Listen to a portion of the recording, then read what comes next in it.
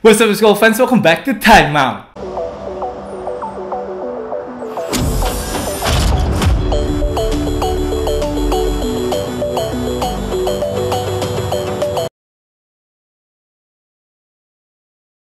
I do the double technicals. Uh, trash talking. I mean, that's what two competitive guys do. You know what I mean? Um, Russ been kicking my ass for years.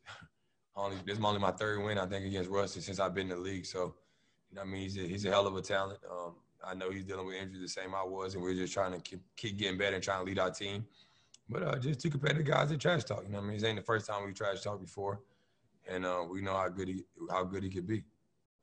Balik bareng Berki Padilla, kita kembali lagi ke info basket harian terisi 27 Januari 2021. Time out geng, saatnya kita untuk ngobrolin basket. Kita akan mulai dari NBA terlebih dahulu, di mana ada Houston Rockets yang berhasil mengalahkan Washington Wizards dengan skor 107-88. Storyline-nya jelas adalah John Wall dan juga Russell Westbrook ketemu mantan timnya masing-masing. Tapi John Wall nih kayak lumayan dendam ya sama Washington ya. Di mana setelah pertandingan pun saat lagi post game interview di bawah-bawah nih timnya dia bilang bahwa Washington kira he was done. That's why he did what he did hari ini dengan mencetak 24 poin untuk Houston Rockets. Tapi shout out untuk John Wall menurut gue dia nih benar-benar berani banget memberikan opininya dia saat lagi post game interview. Dia pun tadi nyenggol James Harden dikit dia bilang bahwa setelah trade ini terjadi, chemistry-nya Rockets itu lebih bagus karena memang pemain-pemainnya semua ingin berada di timnya Rockets. Lalu yang terakhir gue juga respect banget dengan komentar dia di podium seperti kalian tadi lihat bahwa John Wall bilang Russell Westbrook has been kicking my ass. That's why he did what he did juga today untuk bisa mengalahkan Washington Wizards. Tadi kedua pemain ini wah sedikit tensi ya, ada trash talk sedikit di pertengahan pertandingan di mana kena technical foul juga.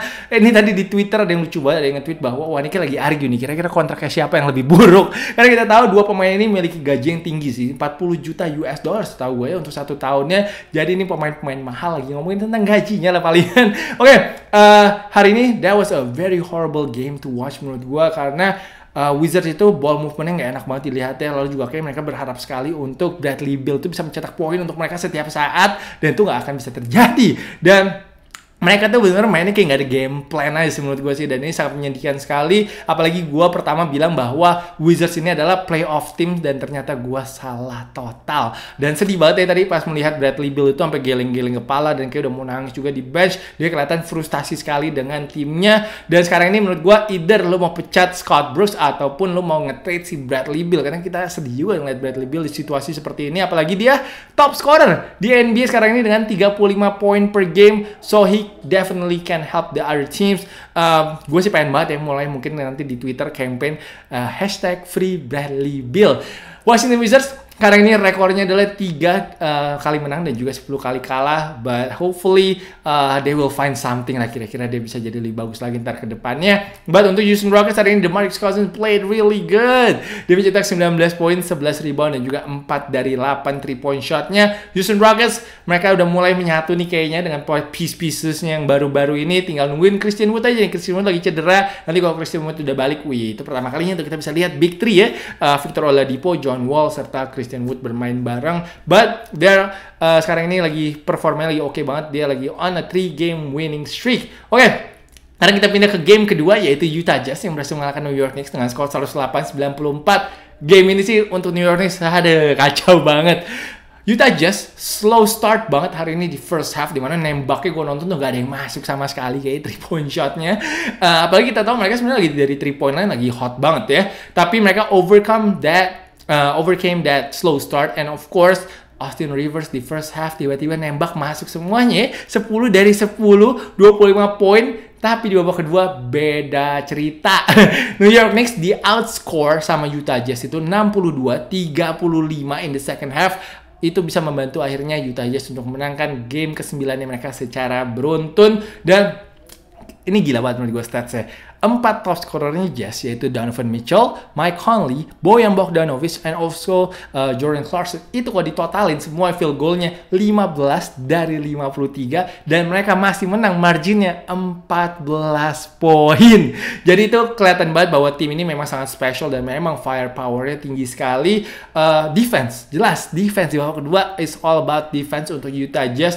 Di mana Rudy Gobert hari ini dominan sekali dengan 18 poin, 19 rebound dan juga 4 block shot, serta the glue guy, dan juga mungkin the best O'Neal katanya para fansnya Utah Jazz kita tahu Utah Jazz dan juga Shaquille O'Neal sedang ada beef nih sekarang ini. Jadi Royce O'Neal hari ini membantu sekali dengan mencetak 20 poin dan menurut gua kemenangan ini memperlihatkan kalau memang tim ini tuh built for a championship this season. Mereka udah kalah, mereka kebobolan 59 poin di babak pertama, tapi mereka tidak menyerah, pelan-pelan mengejar ketinggalan mereka di pertandingan ini. Dan di babak kedua, Jazz membuat adjustment, defensive adjustment actually, di mana Austin Rivers hanya 0 dari 4 di babak kedua. Mike Conley of course hari ini juga berjasa besar sekali untuk menangani Utah Jazz dan sama winning streak ini juga Mike Conley ini sebagai floor generalnya Utah Jazz sangat-sangat perlu dikasih kredit sekali. Hari ini dia plus minusnya adalah plus 27 dan gue rasa nanti kalau ada NBA All Star ini lagi diomongin sama Chris Paul dan juga NBA bahwa mereka berusaha untuk ada NBA All Star katanya mau dicoba di Atlanta nantinya. Kalau memang ada, wah Mike Conley sih pantas banget sih untuk masuk ke NBA All Star. Wah bisa-bisa tiga pemain nih, Conley, Gobert dan juga Mitchell, Donovan Mitchell untuk Utah Jazz.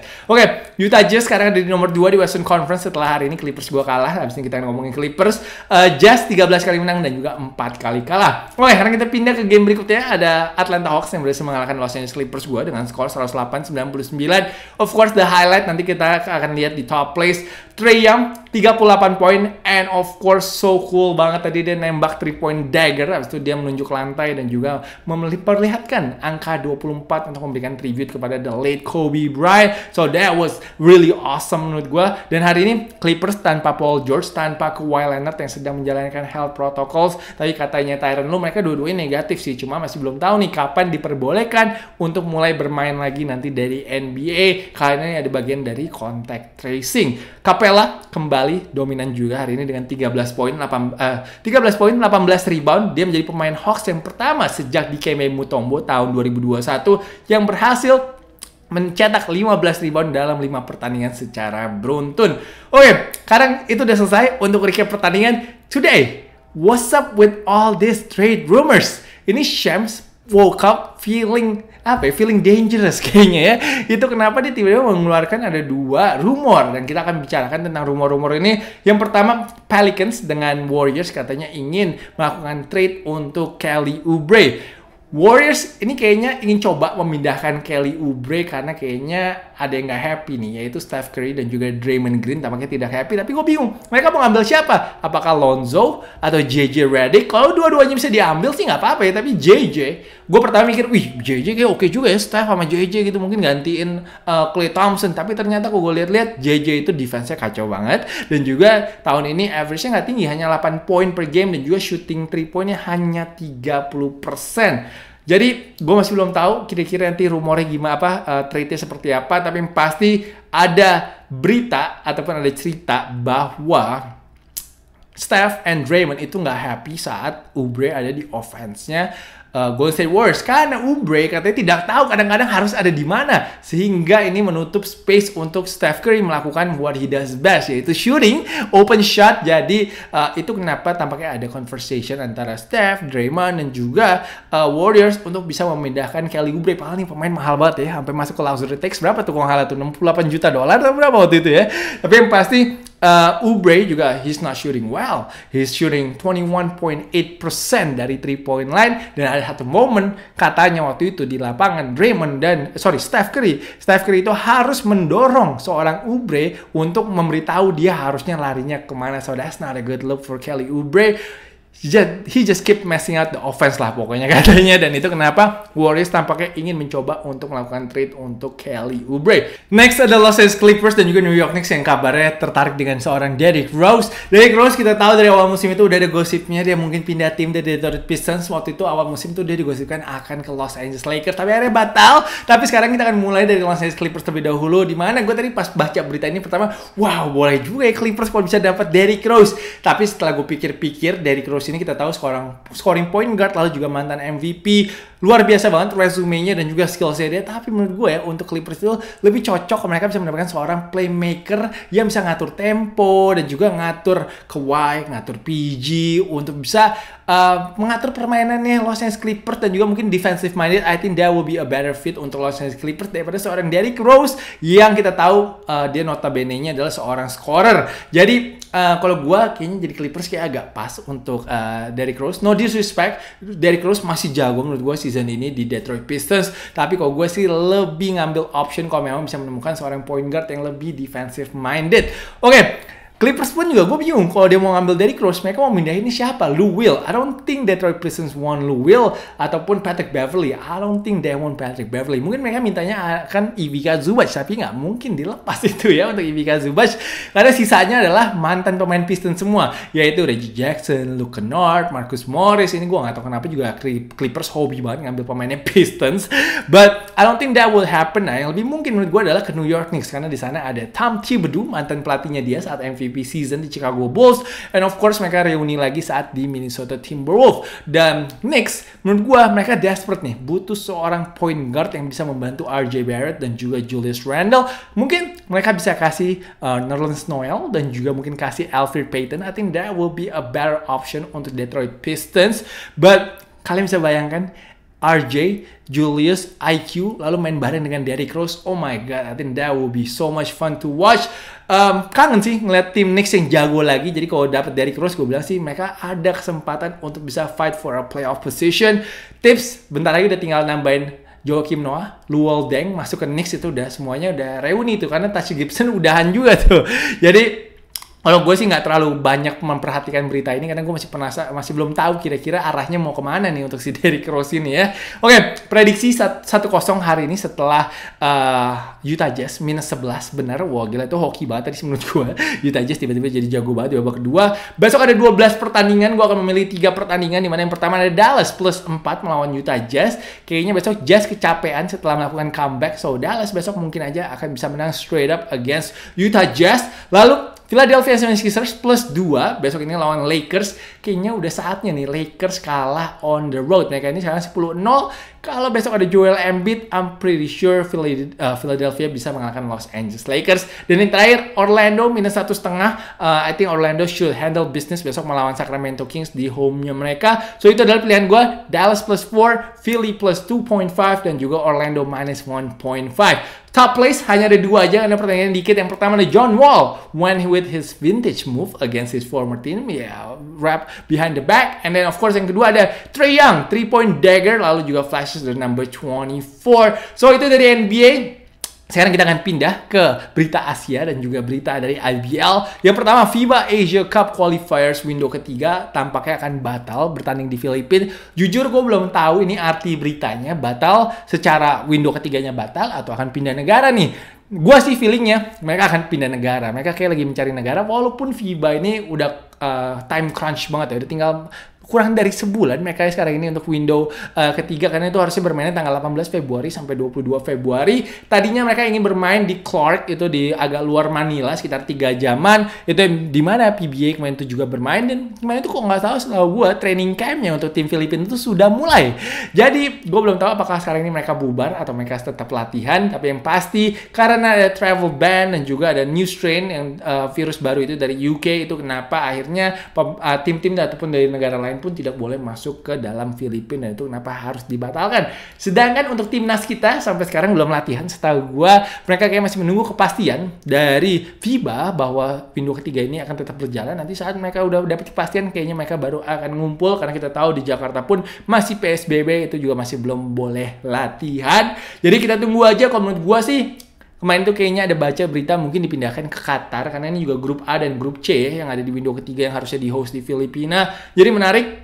Kita tunggu aja Kai Soro pun harusnya udah balik ke Filipina kemarin ini gara-gara dia ingin join dengan tim nasional. Uh, walaupun sekarang ini dia masih di Amerika mungkin masih ngikutin latihannya League tapi setahu gua dia masih commit kalau memang uh, window ketiga bisa dijalankan dia akan kembali untuk membela tim nasional Filipina nantinya. Terakhir dari IBL ada Coach Raul Miguel yang joins uh, West Bandit Solo. Gue agak telat berita ini sebenarnya beberapa hari yang lalu. Tapi West Bandit terus memperkuat uh, squad yang mereka demi menghadapi season perdana yang mereka di IBL. Sekarang ini mereka mengambil seorang pelatih menurut gue cukup pengalaman dan juga sangat tegas sekali. Uh, kalian bisa melihat sendiri tahun lalu itu uh, Coach Ebos melatih di BPJ. Menurut gue BPJ itu, itu punya karakter hard worker dan juga hustler. Dan itu memang biasanya tipe dari uh, tim yang dibesut oleh Coach Ebos. Biasanya juga mereka defensive minded banget. Dan Coach Ebos tampaknya akan jadi head coach. Lalu Coach Ricky akan menjadi asisten coachnya. Dan karakternya Coach Ebos ini gue bilang bisa membantu banget untuk membentuk tim baru seperti West Bandits kita tahu West Bandits isinya pemain